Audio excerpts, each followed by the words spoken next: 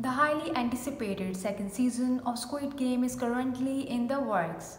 This was officially announced in June 2022, which is not surprising considering the massive popularity and success of the show.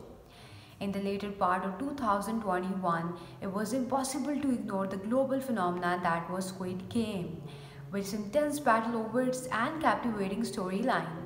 This also shed light on the plethora of amazing Korean content available for Netflix subscribers only. The show's immense success had led the Netflix to create a spin-off reality show called as Squid Game. The challenge, which is currently being released in the batches of episodes.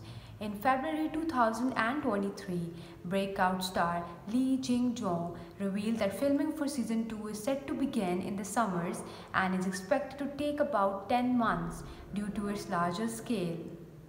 This means that the fans can likely expect to see their favorite bloodthirsty K-drama back in the later part of 2024.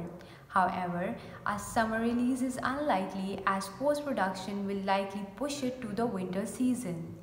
And if the wait seems too long, there is also a possibility of third season in the works.